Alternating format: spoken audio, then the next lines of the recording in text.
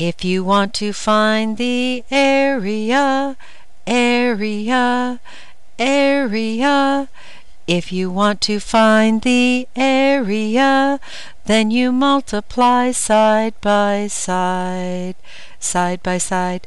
A rectangle has length and width. You multiply the pair. You're finding all the space inside. And the units in the answer are squared. If you want to find the area,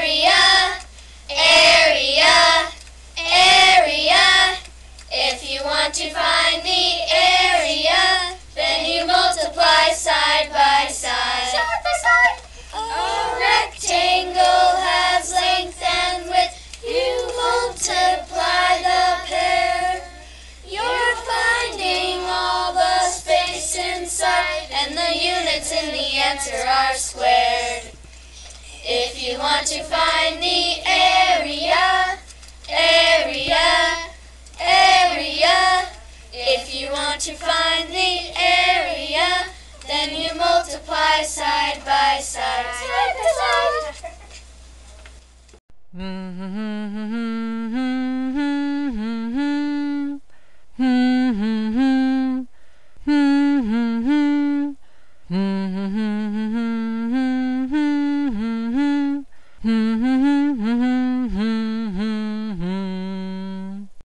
If you want to find the